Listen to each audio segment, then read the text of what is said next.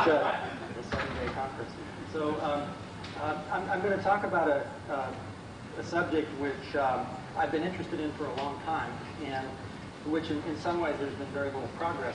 But recently there's a, an interesting connection which provides some uh, uh, some some progress on on uh, on the problem, and it has to do really the main um, theme of the talk is that there are two extremal problems for uh, uh, Riemannian metrics in three dimensions, which turn out to, to be related, to have a perhaps somewhat unexpected relationship.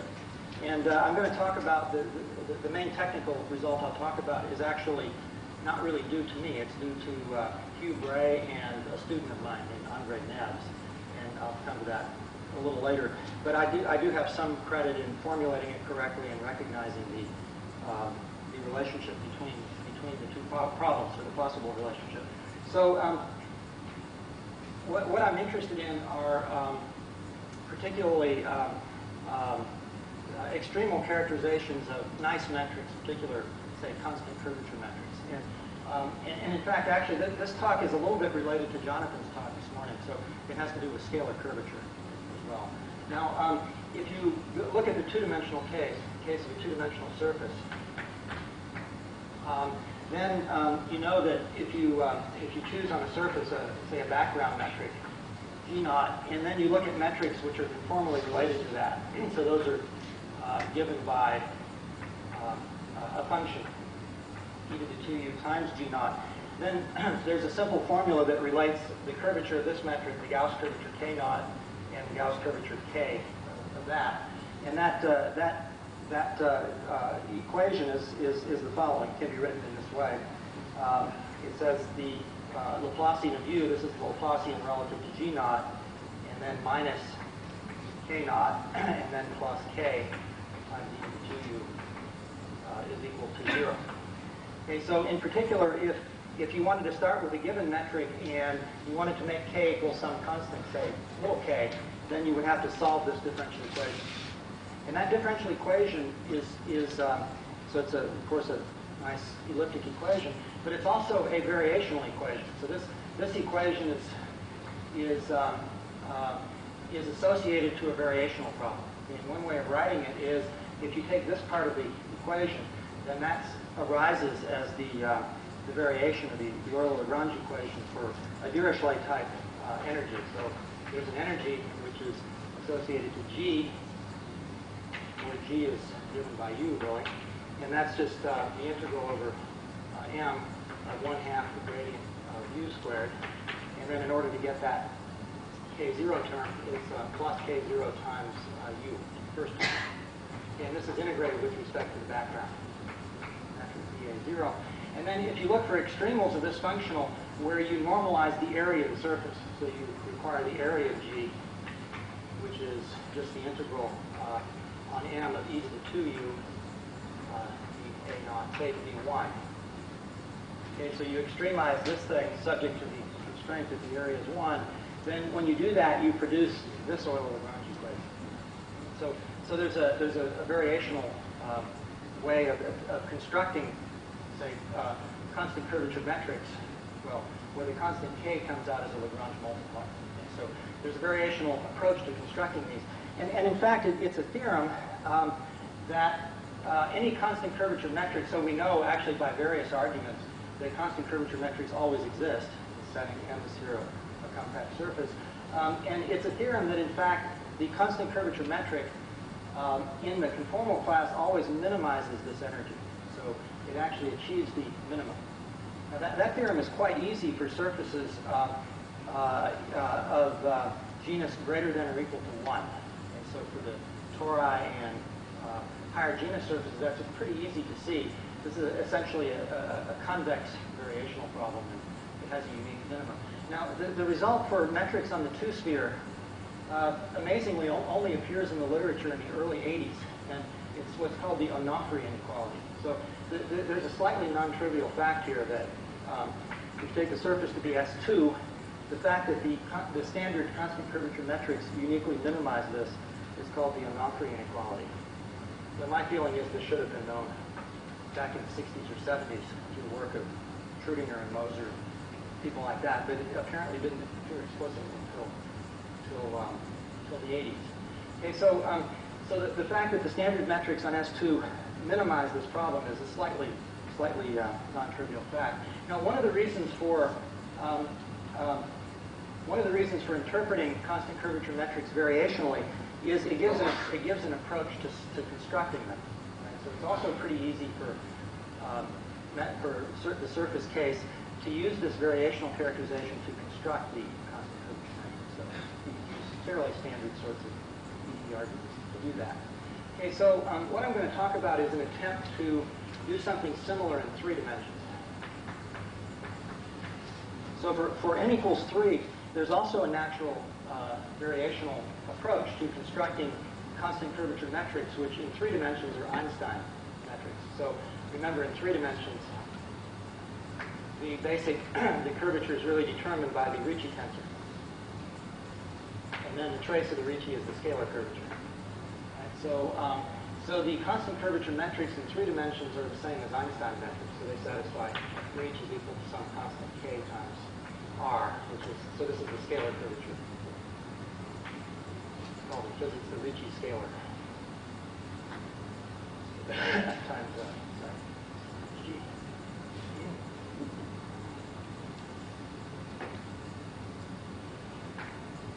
Uh, and, uh, and in three dimensions, those metrics are precisely the, uh, the constant curvature metric. Okay, so, um, so there's, a, there's a natural um, variational or formal construction of these metrics, which is, uh, goes under the name of the uh, Yamabe invariant. And the idea is the following thing. So it, it's actually a classical fact that the, that the, uh, this uh, equation, the Einstein equation, is the Euler-Lagrange equation for the functional, which is the, uh, the Einstein-Hilbert action, so-called integral r dv on m. So you look at critical points of that, subject to the volume constraint the, the condition that the volume is 1. So for a closed compact manifold, it's, an easy calculation, which I think was first done by Hilbert, that if you extremize this functional subject to that constraint, you produce the uh, Euler-Lagrange equation, which is the, uh, the, uh, the Einstein equation. Okay, so um, on the other hand, there's a lot of work on this, and, and and just, I won't go into details, but just to say that this functional is, is highly indefinite. So, so it's easy to find metrics which, uh, you know, for which it goes to infinity and with volume one and for which it goes to minus infinity. So the, the most plausible construction of a critical point for this metric produces what's called the Yamabe invariant. So, so it turns out the right thing to do, or at least a, a good thing to do, is to, uh, is to consider the following. So you consider any metric G on the manifold um, and then you consider what I'll call I of G. So this is the conformal class. So you have to separate the conformal directions from the transverse directions in this problem. Yeah.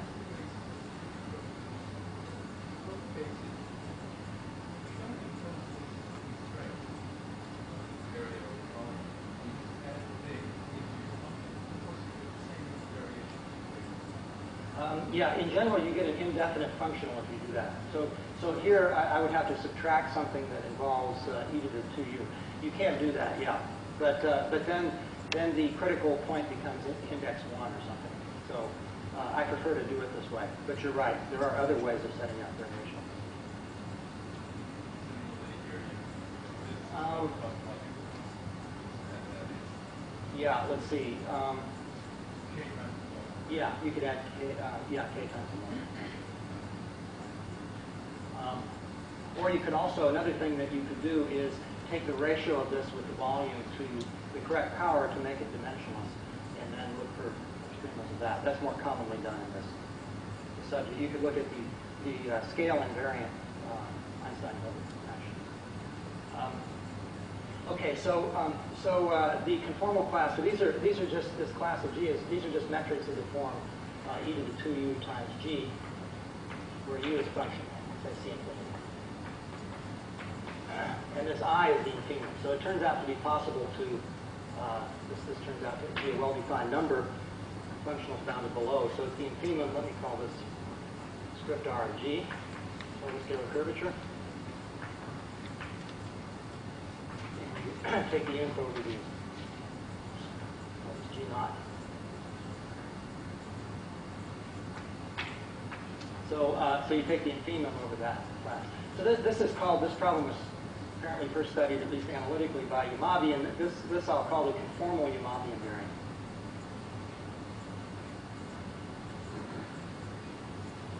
And since it's, a, it's an inf over a conformal class, it, it clearly depends only on the, uh, only on the uh, conformal class of uh, G naught metric to start with. Okay, now, um, it turns out these conformal Yamabe invariants uh, are always bounded above. So what you can do is, uh, is then take a supremum. So this is, I usually call it sigma. So this is, this is the topological Yamabe invariant, or.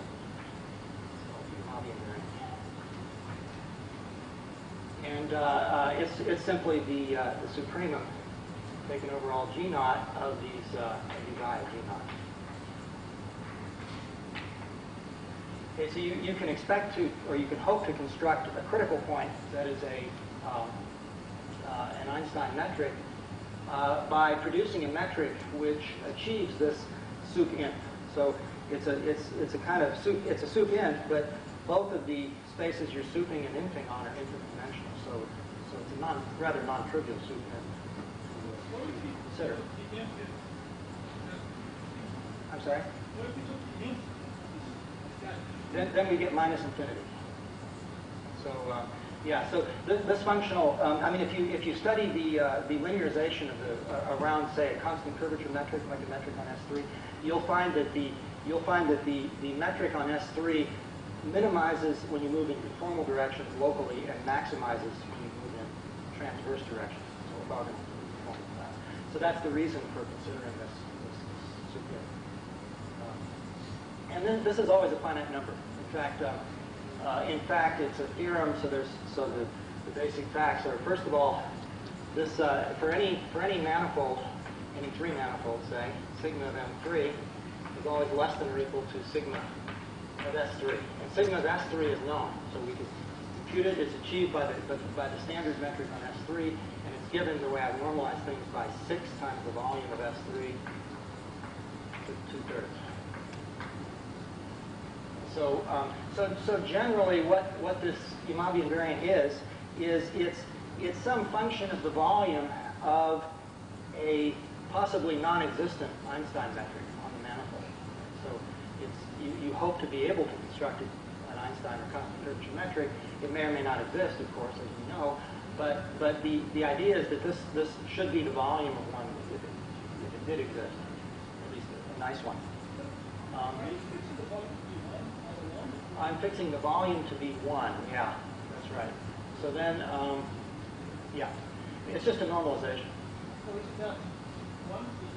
Oh, um, actually, this. So here I'm thinking the standard S3. So this is the unit S3.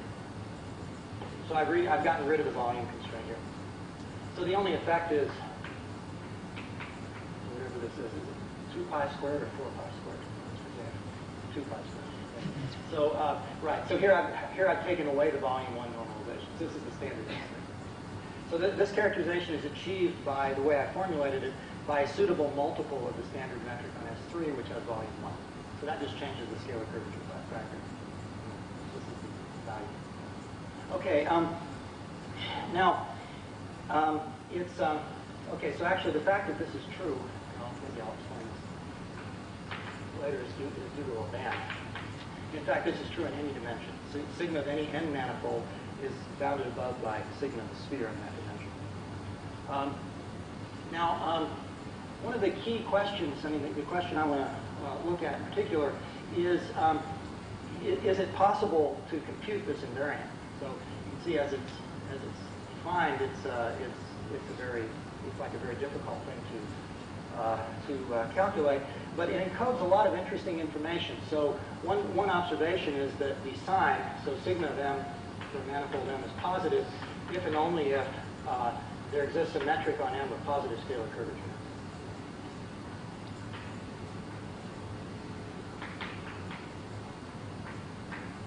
So that's a consequence just of the sort of conformal theory. In fact, that's true already in this for this conformal problem. So if you're in a conformal class where this being ha having this in positive in a conformal class is completely equivalent to the existence of a metric in that class with positive scalar curvature. That's a that's a uh, easy thing. I'm not sure who first did that. Certainly, there's early work by Kazdan and Warner, maybe Yamabe himself. Um, so it's it's so in particular the the the three manifolds with positive Yamabe invariant are precisely those with positive scalar curvature. So that's a tie-in with Jonathan's talk this morning.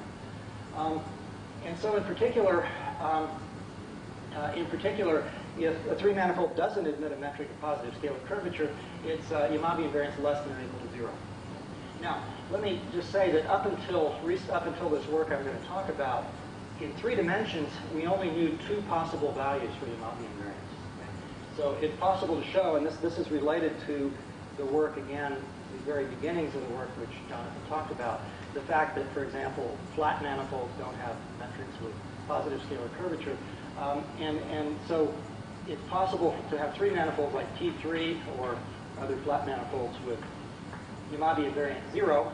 So there are examples of, of um, um, three manifolds with Yamabe invariant zero. This statement is completely equivalent to the statement that T3 has no metric with positive scalar curvature.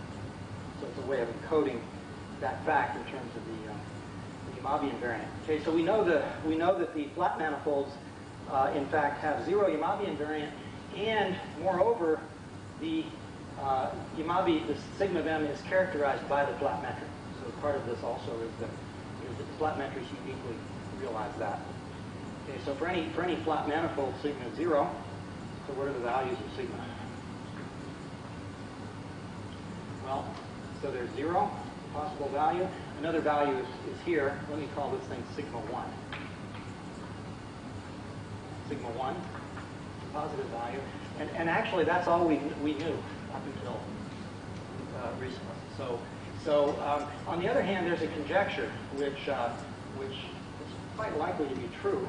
Um, the, the conjecture is that, is that, like in the two-dimensional case, where the constant curvature metrics always, in fact, minimize and re realize this extremal, it's conjecturally true in three dimensions also. So the conjecture is that is that constant curvature metrics realize their Yamabe invariant.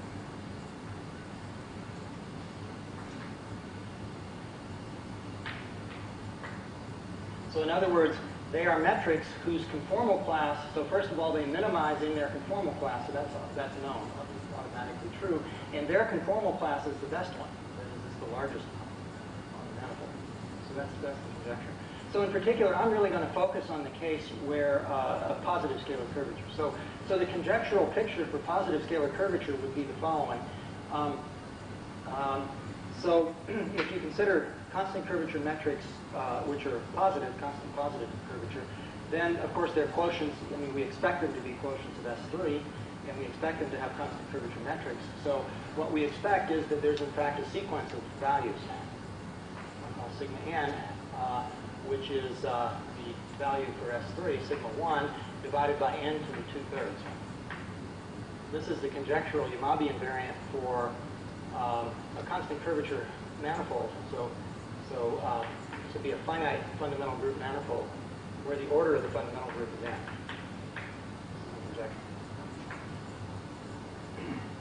So you expect that for a quotient of S3, like a lens space or whatever, the Yamabe invariant becomes smaller. It should be n large, in fact, go to zero. And this should be achieved by the standard metric, by the constant metric. So, so this is what the uh, this is what the conjecture amounts to, at least for quotients of S3. Okay, so um, the, uh, the theorem I want to talk about actually does this in the simplest case, namely when n is 2, so for RP3. And in fact, it does something substantially stronger. So, okay, questions?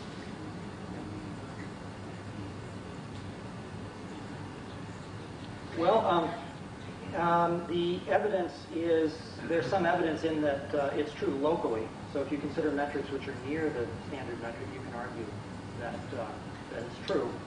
Um, I'll give you some more evidence in the talk.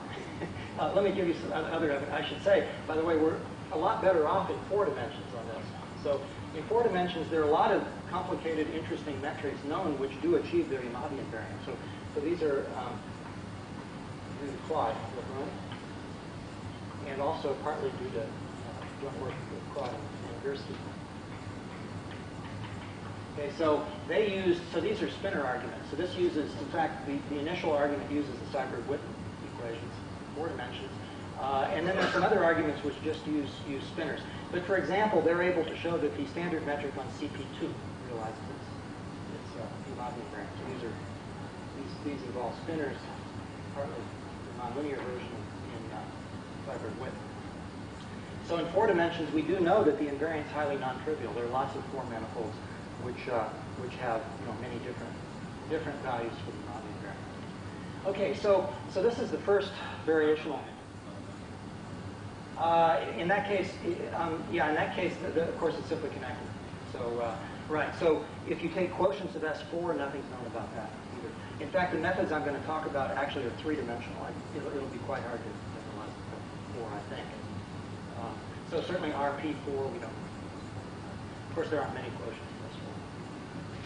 Um, okay, so um, so this is a, this is um, uh, I think a very interesting extremal problem which I've thought about for many years or wondered about for many years, and and you can see that the the, the state of knowledge is very very primitive. Um, now there is a little bit more known, and in fact, one of the things which led to this this connection I want to describe uh, is the following. Actually, before I say that, let me point out another thing. Um, now, um, if you want to get lower bounds on this invariant, so let's let me talk about lower bounds for a minute. So, so, um, so the invariant is the sup of something, right? So in order to get a lower bound on it, all I have to do is find a good conformal class and where I can uh, prove a lower bound on I. So to get lower bounds, I just need to find a good conformal class. Find a good G naught. Um, uh, where I can estimate I, so that I of G naught is down to below by something, right? And then, and then the Yamabe invariant will be below. Now, there's a, there's a good example of that. Um, uh, in, in, in particular, it gives, it gives an example of another manifold besides S3, which has the same Yamabe invariant. So the, the simplest example is, um, I think of taking uh, uh, S2 cross S1. So I take a, say, a unit uh, S2, and I cross it with an S1 of length L, and I think of this L as very big, large. So there, these are product conformal classes, but I can vary the conformal structure by stretching the circle, or I can scale it down so I have just a tiny little S2 and a big S1. This is the S1 direction. These are S2s. Okay, then um, it's not hard to show that, that when you do this, I mean, if you look at that conformal class, the minimizing metric looks as follows. So it looks like S3, really, except there's a little neck there. These are identified. So in other words, the metric starts to look like a bubble with, with, uh, with a single uh, neck. This can be done rigorously. In fact, you can actually study the solutions of this problem using ODEs, this, this setting. Or there's actually a more general consideration, I'll talk about in a minute. But in particular, you can show that you can show that as you take L to infinity, the infimum actually converges to sigma 1. So this is really a, a family of conformal classes. The infimum for these converge upward to sigma 1. That is the value of the sphere. So in particular, you see that sigma of S1 cross S2 is also equal to sigma 1. And this, this is an example where, where, the, um, where the invariant is not achieved. So it's only it's only achieved in this limiting, limiting sense. Now, this argument was generalized in an interesting way by uh, O. Kobayashi.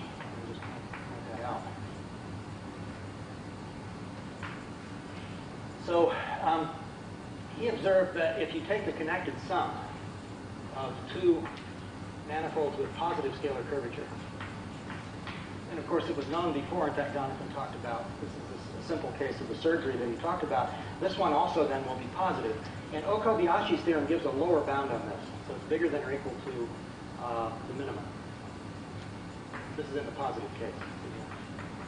1, 2. Okay, and, and, and the idea of that, so this is a lower bound of, uh, for the connected sum. And the idea of the proof is that, is that you can think of the connected sum, you can choose a conformal class which makes it look like a disjoint union. M1 and 2, then you can think of connecting them with a very long, thin tube. And then, and then you have to do some calculation to show that for this conformal class, as you take the tube longer and longer, the Yamabe invariant converges to that of a disjoint union. For a disjoint union, it's very easy to see that the Yamabe invariant is the minimum of the tube. So that's, that's an interesting lower bound. So, so in particular, it tells you that not only is S1 cross S2 Yamabe invariant sigma 1, but you could take any number of connected sums and still, and still get the same, the same Yamabe invariant sigma 1. Sigma 1 is as large as you can go. Um, okay, so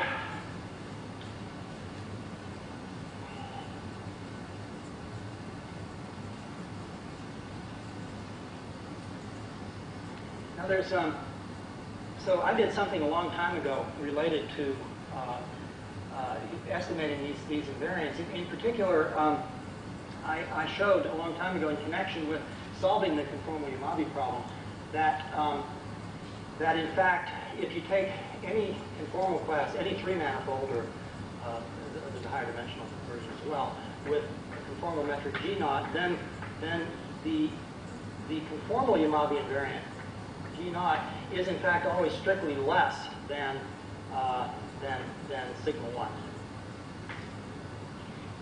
Uh, with equality, it's less, uh, less than or equal, say, equal only if uh, um, only if M3G is conformally equivalent to, to S3, the standard S3, the standard metric. So, so in other words, as a conformal class, the, the, the standard one on S3 is, is uniquely characterized by having um, the largest possible uh, conformal Yamabe invariant. And the proof of this, actually, so it's really the proof of this which led to the considerations which I want to talk about here. So, so in fact, it, it, this can be reformulated in the following way, and this turns out to be a useful thing to do. Um, so the, the main idea in this, in a sense, is that is that um, um, you're dealing with a conformal class here, so it would be nice to be able to choose some some canonical metric, and and and also, and, and there's a way to do that in such a way that you can get some intuition about them. There's some intuition coming from physics, from relativity. So uh, what you can do is choose a point on your manifold, three, so choose a point P, and then um, in the positive case, assuming positive scalar curvature, uh, there's a unique metric in the conformal class, which is uh, really given by the fundamental solution of the, what's called the conformal Laplacian here, which sends this point to infinity. So what I can do is conformally uh, think of this M3 minus a point as an asymptotically flat manifold. So the point P is now at infinity. And when I do that, the, for this asymptotically flat manifold, the scalar curvature is zero. So this is in the same way that you can take S3, take out a point, and, and conformally um, think of the, a metric on there, which is the flat metric on R3. You can do that on any, um, on any, um, uh, you can do that conformally on any, on, in any class with positive scalar curvature. And moreover, this, this while, while there are lots of different choices of conformal metric here, this one is really uniquely determined up to a scale uh, just by the point P. Consider.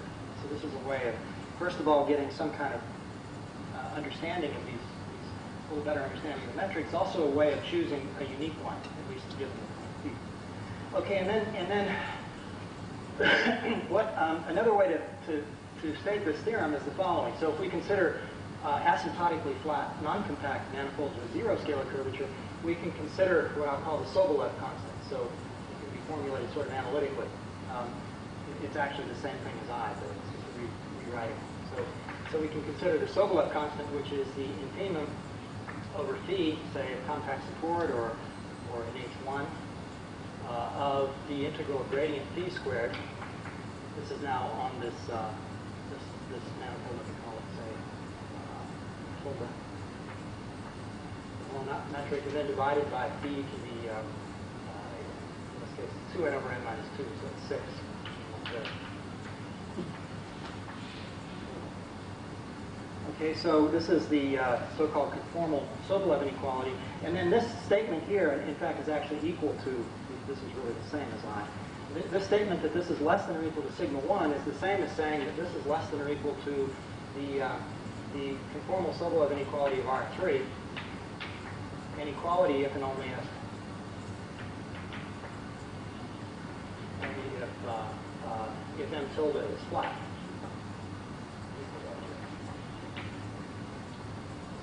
So, so this can be reformulated as a characterization uh, of R3 among all asymptotically flat zero-scalar curvature three manifolds uh, as having the largest Sobolev constant. That turns out to be a useful, uh, useful way of formulating that. And of course, the proof, probably some of you know, involves the um, so-called positive mass theorem. Okay, so there's a sort of asymptotic calculation, and the the, the fact that the positive mass theorem holds uh, is really what gives the strict inequality here. Okay, so this is old work of mine, which is the key result in in realizing this this infimum. So in order to, re, to, to prove the infimum is realized for an arbitrary metric, that was the key, key result in doing that. It's really a characterization of the standard conformal class. Now notice, this doesn't really say anything about the Yamabe invariant because uh, this is only a statement about conformal classes. It still could happen, as for S1 cross S2, that there is a sequence of conformal classes where it converges out to the, sigma 1. It certainly could still happen. Okay, so so now, um, so the work I want to talk about relates to the case where um, when you do this manifold, when, when you do this opening up procedure, um, uh, the case where you have a, uh, in relativity a black hole, so this is a minimal surface or a horizon. So it might happen, it might happen that when you blow this thing up, you produce in this metric a sort of neck, a minimal, uh, minimal surface. In fact, that does necessarily happen if you have suitable topology on the, on the manifold you, you start with. Um, and in fact, so this, this sort of relates this question to uh, a extremal problem in relativity, which was, was recently solved the last year. It's called the Penrose inequality. So the Penrose inequality characterizes a certain metric, namely the Schwarzschild metric. So, uh, so the Penrose inequality comes from relativity, and it has to do with a particular metric. So this is this is called the Schwarzschild metric, G sub and it's just the metric 1 plus m over 2 r to the fourth times the Euclidean metric, say on r3 minus 0, where r is just so we have coordinates on R3. R is just uh, mod x. Okay, so this is this is a very important uh, uh, metric in general relativity. In fact, lots of lots of calculations, physical predictions in relativity are based on are based on, on this metric. And from a physical point of view, this metric is expected to have uh, a certain extremal property. Let me describe it.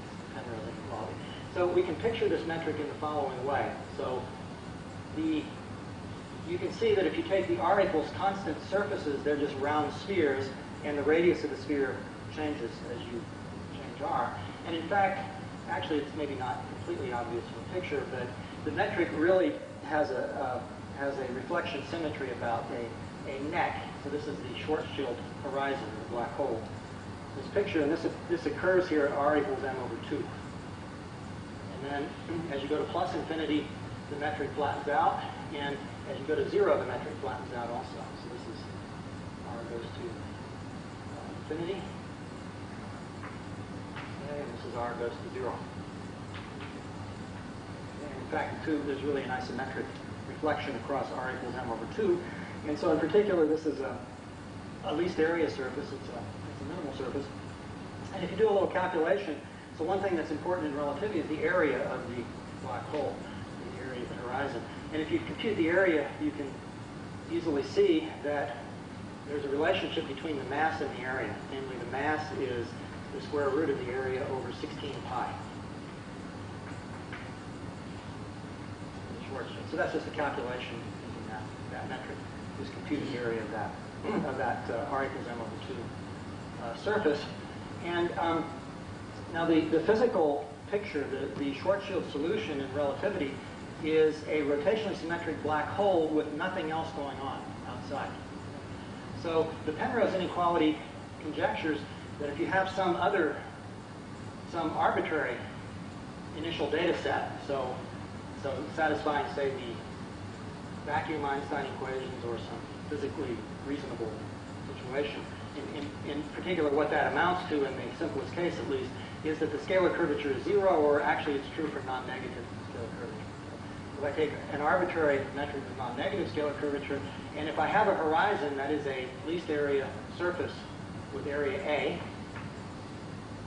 so if I have a, a um, asymptotically flat um, zero scalar curvature metric with a minimal surface, the, the surface always is a two-sphere, in this case, topologically, uh, then then the idea is because there's no gravitational energy outside the horizon, that all of the mass should be due to the area of the horizon. So the Penrose inequality says for a general uh, uh, for a general metric like that, it should be true that the mass is always greater than or equal to square root of a over 16 pi, with equality only for the Schwarzschild.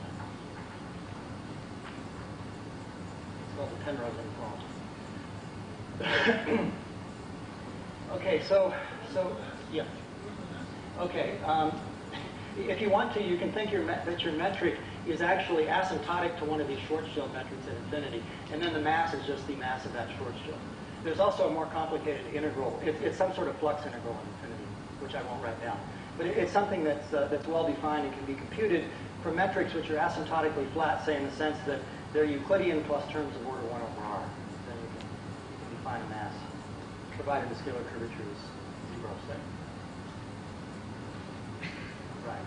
Um, okay, so that's, uh, that, that's the Penrose inequality. This, this was solved um, by, well, for, for connected horizons by uh, and Ilmanen uh, three or four years ago, and more recently in the general case by Bray. Bray, by rather different, different arguments. Okay, so, um, yeah, question? It's, uh, yeah, so that, that's a good point, too. Um, so um, the, the horizon has to be um, minimi- it has to be minimal, zero mean curvature, but also you're not allowed to have any other horizons outside, because otherwise it's false. I mean, you can construct spaces which sort of have a neck, one horizon here and then an enclosing one, which is very tiny, and then this inequality is violated. So it's important that the horizon be what's called outer minimizing. So, so it's small, it's smaller area than any enclosing surface, and you can always construct given any space, you can always find such a such an outer minimizing horizon. Um, it's always a two-sphere, just from the second variation. Well, it's stable, so it's so it'll be a two-sphere.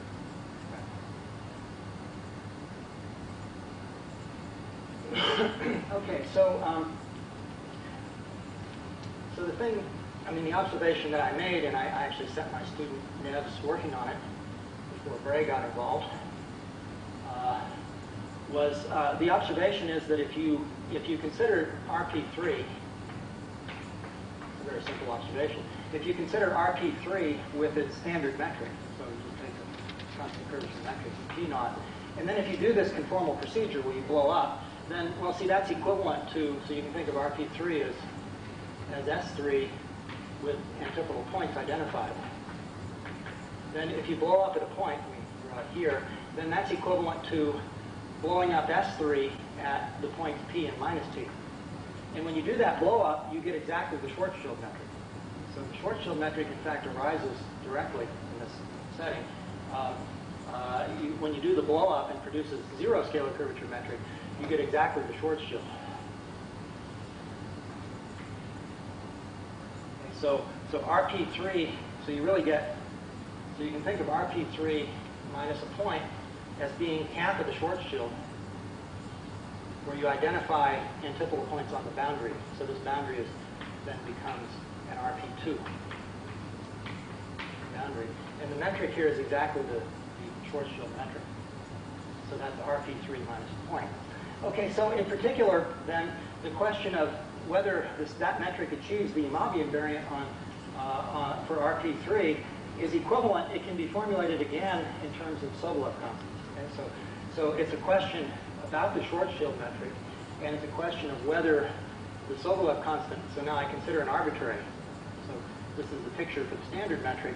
If I take any metric now, then I have some you know, funny picture um, except it's, of course, antiply invariant. And then when I blow it up, I get some funny zero-scalar curvature metric, which is asymptotically flat. Tilde, again, it's, same, it's on the same manifold, so it exists on the Schwarzschild space.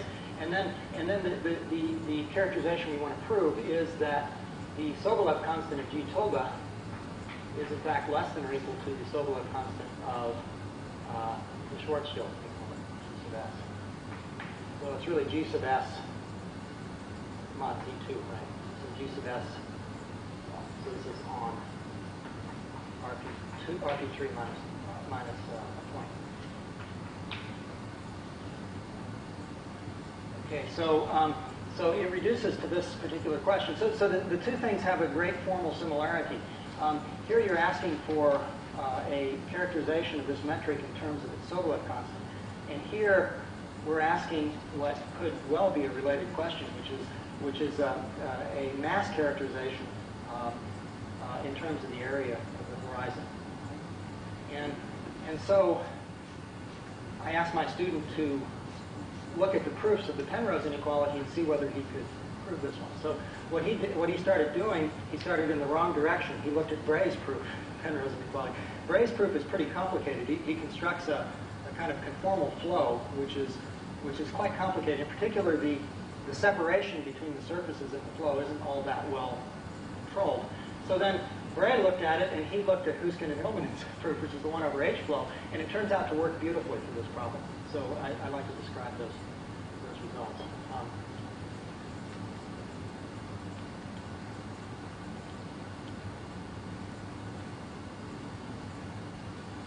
so, um, well, so let me first state the theorem, so, uh, since I'm likely to run out of time here.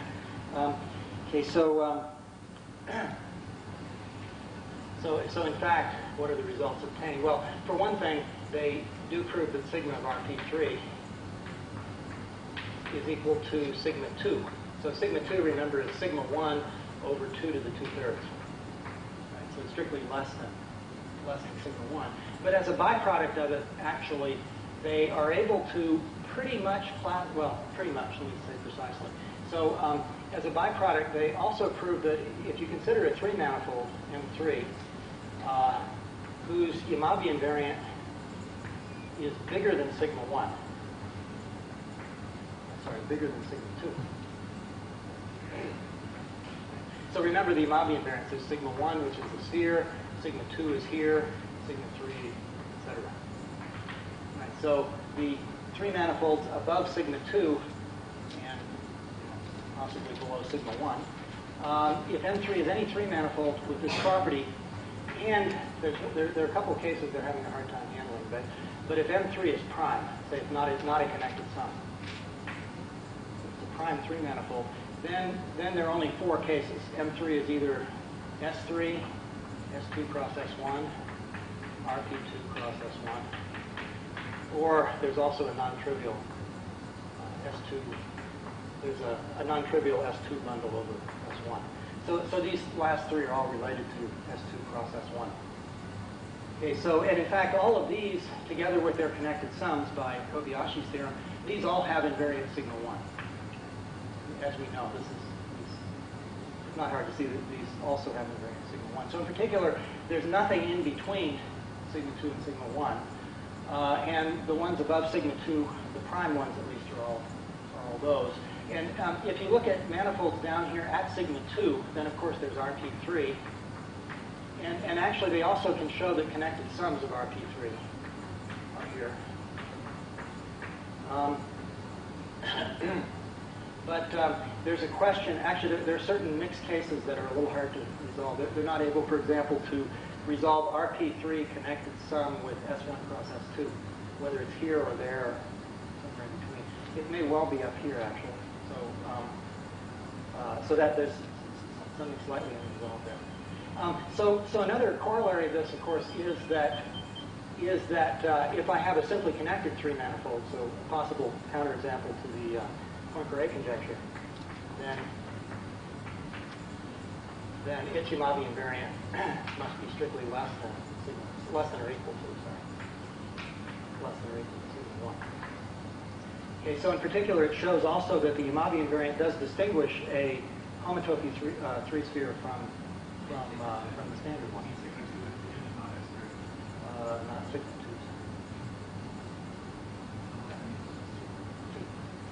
Yeah, so thank you.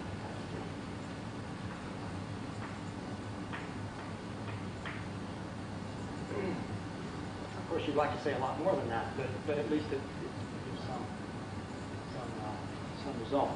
Um, okay, and let me, let me give the idea of the proof. I only have about 10 minutes left, but um, so the, so again, the authors of this theorem uh, are Bray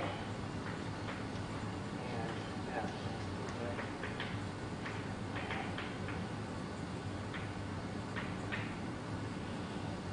And they're uh, they're writing it up right now.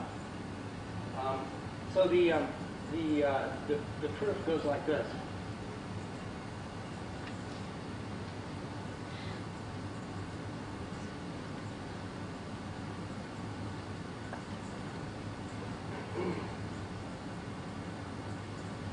Okay, so um, in fact, what what this starts with really is. Uh, uh, is an arbitrary um, is an arbitrary scalar flat asymptotically flat metric.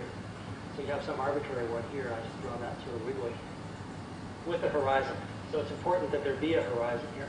So it's the existence of the horizon which forces the the, the uh, uh, to be smaller. It's also very important that this horizon bound a compact region. Okay? So what fails in S2 cross S1 is that you will generally have two horizons which are joined, and that's bad. So you need, because the argument uses, we want to construct a function by its level sets. So, so we're going to, so the idea is to, so let's think of a single horizon which bounds a compact region in space, and we want to compare this wiggly picture to the Schwarzschild above its horizon.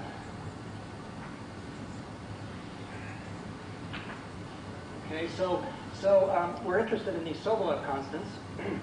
So so we know we know Schwarzschild explicitly, and we know it's so, we know we know the function which achieves the Sobolev constant. Don't ask me to tell you what it is, but but there's a function whose level sets are these spheres, which achieves the Sobolev constant.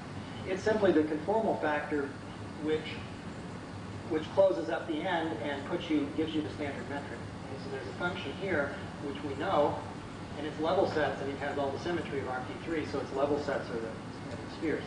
Okay, so what we want to do in order to prove an upper bound on this, remember this is the infimum over some some family of functions. What we want to do is produce a function on this space which has smaller Sobolev quotient. So the Sobolev quotient is here. So we're interested in producing a function phi in our unknown metric and in such a way that we can compare the Sobolev quotients. And so the idea is first to find the level sets of phi. So we know the level sets here are spheres. We want to find what the level sets are here. And so what we want to do. So what we want to do is find some natural family of surfaces, which hopefully are, are spheres, and then we want to sort of mimic the function here back there.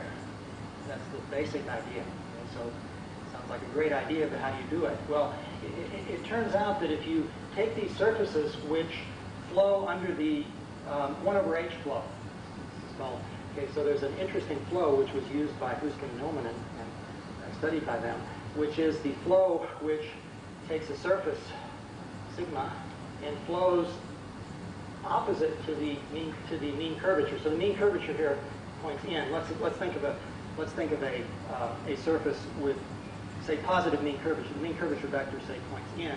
We want to flow it outward, and we want to flow it with a speed. We want to move with a speed of one over h.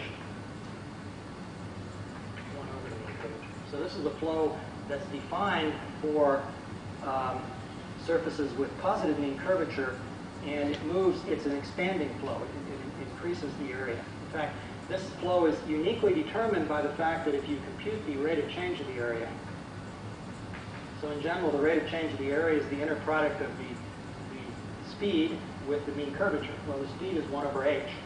So for this flow, this is a. So the area under this flow, assuming we, we can be constructed, is precisely, so the A of t is precisely A naught times e to the t.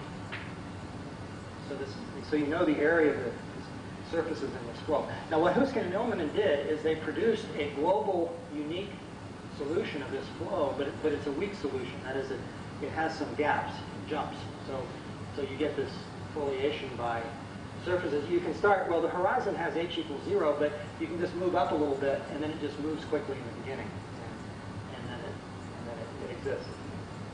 So the flow is defined.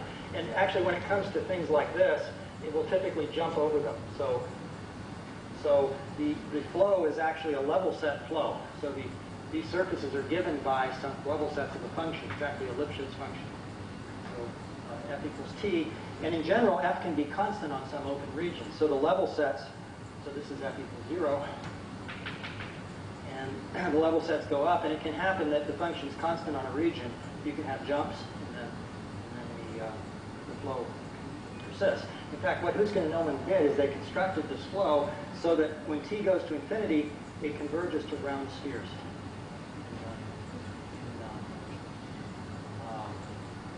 Uh, in the asymptotic end.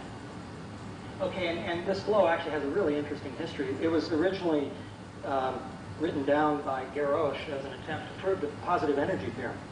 Um, and Geroch observed that there's a certain mass quantity, it's called the Hawking mass, which is monotone under this flow, and that's really key to this whole, whole argument. So it, it turns out if you write down what's called the Hawking mass, so mh for a, a two-dimensional surface, which is say an S2, the Hawking mass is the square root of a over 16 pi. And times 1 minus 1 over 16 pi times the sort of Willmore function, the integral of x squared. It's called the Hawking mass. And it has the property that if you evaluate it on the Schwarzschild solution, it's just a constant. So when h is 0, you're on the horizon, it's just square root of a over 16 pi. As you go to infinity, the function's actually constant. And, and you know, at infinity, you're picking up the mass. So it turns out this quantity is monotone under the flow. Basic property, is increasing in t under the flow. So that was the basic idea, key point of the, the, uh, the proof. Okay, so another way to write down this equation, so, so I mean, the idea to see that this is going to give you something on the related to the Sobolev inequality is that this flow if you think of it as a level set flow, this function f satisfies the condition. So its mean curvature as a level set, the mean curvature, of course, is the divergence of the normalized gradient. So this is h for, the level, for a level set as we give our students the differential geometry problem. Of course, they never solve it. But, right. this is the uh, right. So this is actually the mean curvature of the uh, of the uh, of a level set. Okay, and then, and the speed of the flow, if you have, if the flow is defined as level sets of a function, is 1 over the gradient. So the equation, the 1 over h flow is this equation. So in particular, you can see the gradient of f is equal to h. So this, this integral h squared here is exactly gradient of f squared. So you see it's, it's giving you, and this is monotone, so that means that this, this term here is bounded above. So the, the difference is bounded below by what it was initially. And, uh, and that gives you an upper bound on this quantity. So you can see that you're sort of estimating terms of the type that appear in this inequality. So you have to worry about the volume intervals on the bottom too. But, but uh, the point is, okay, so the idea then is you compare the two flows. So here you know the flow explicitly. You know exactly what function to choose. So there's, there's some function here, phi, which is a function of f, which is the best one. So what you do is you transplant, let's call this f bar. Right? You transplant the same function back here, that is p of f, and then you show that when you put that into the uh, Sobolev quotient, you get a better answer, a smaller answer. That's, that's the basic idea. So it's, it's actually very neat, compact. I mean, the proof isn't really very long. It uses the co-area formula. You have to worry a little about the fact the flow jumps, but, but, uh, but uh, it all fits together really neatly. So, so this, uh, right, so it provides um, uh, a uh, very interesting connection, I think, between these two problems, the general inequality and the, the, uh, for R3. Now, these other results follow, so in order to prove these, you just have to study, you have to combine the, um, you know, that result with the existence theory for minimal surfaces, right? So you have to use another key ingredient here is the uh, Meeks-Simon-Yau theorem on existence in isotopy classes.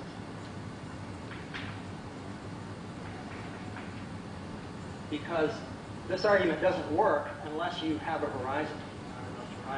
So in order to construct the horizons, you need to use the, the existence theory. And to do something like the, uh, you know, like a fake, like a fake S3, you have to use the existence theory in this isotopic. So you have to say the sphere at infinity is isotopic to some uh, minimal surface. So if it's, so if, this, if the, if the, um, if the manifold is not a standard sphere, then you can always find the horizon, and then this argument in. I should have said, by the way, this, this, this function, as it's, as it's defined, it only exists on the end, but that's why it's important that there be a compact piece that's bounded here. So, so here you just take phi to be a constant. It's a constant on the boundary, so, so uh, you just take a constant there, and you see that, that makes the inequality even better, because, because phi is constant, so there's no contribution to the numerator, but the denominator is bigger. So in fact, if you can argue there's a lot of volume behind the horizon, you can actually do better in. So, so understanding how much is hidden, how much volume there is behind the horizon uh, is very important to trying to uh, extend this, this argument. Um,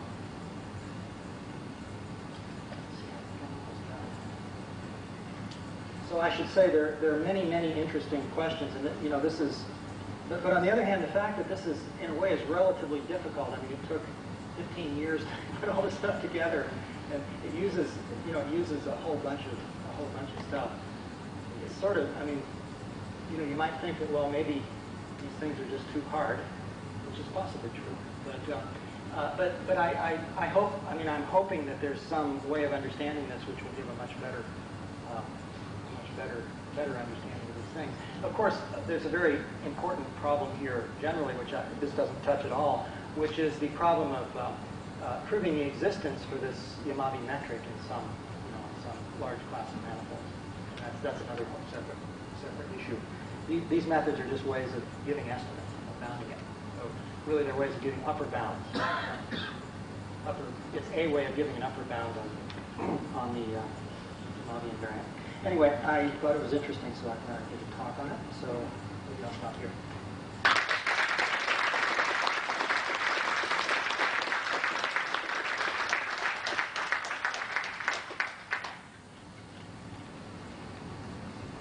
Uh, how difficult is the situation uh, for trying to uh, understand when sigma of m is equal to sigma 2 if uh, m is not prime? Is it just a matter of ruling out s2 times s1 handles? or Uh, you mean trying to characterize No, no, everything at sigma 2? trying, trying, yeah, at sigma 2. Right. Yeah, well, then, then you run into the same problem of, uh, I mean, you can prove, part of this does say that for a conformal class, you're always strictly below unless you're actually on the RP3 with the standard metric. But there's always the concern that you could have a sequence which goes up. So, so uh, this method, I, I, I don't think will characterize the manifold at sigma 2. I think that would be a, you know, an additional step. But certainly, It may be quite hard. but certainly you see that if you take RP3 and add on s and connect some of the, say, any of those manifolds, s2 times s1, then you'll be at sigma 2 still. And there can be Uh, no, no, actually, uh, that's that, that's not that's not clear. The uh, the the um, uh, the Kobayashi inequality allows the possibility that sigma goes up under connected sum. This may actually be a case where it goes up. Uh, the, the trouble is, so so if you take if you take RP3 connect with S2 cross S1, you have to know that when you open it up, that there's a horizon which bounds the compact region. See, because of the S2 cross S1, it might happen that the horizons actually are joined, and then you're in a similar picture as the S2 cross S1. And that's sort of the way they're thinking at the moment. but that, that case is still not resolved. Uh, It's certainly not obvious at all that the, uh, that uh, you're at sigma 2. That in itself would be interesting, I think, to give an example of a connected sum where the uh, Yamabe invariant jumps up. I guess there's no example like that, or do you have one in, you've done some things in four dimensions. Uh, yes. Um, no, certainly it does. There are many examples. There, I see, okay. So this may, may be a three-dimensional example where that happens. I mean, so in particular, you can, in four dimensions, you can take two things with negative Yamabe invariant. Oh. Connected sum has positive Yamabe invariant. Okay, uh, now this theorem actually is for positive invariant. I think the statement, But you could also. you can do it for positive also, yeah. Okay, so, uh, right. Yeah. Does cameras need multiple, multiple Um, It's not known. Um, Actually, I didn't say so, but th- this argument that the Hawking mass is increasing is very two-dimensional. It uses the Gauss-Bonnet theorem on the, on the surfaces. So no, I, I think that, uh, I don't think there's a, I mean, Bray was looking at some things like that, but certainly this type of argument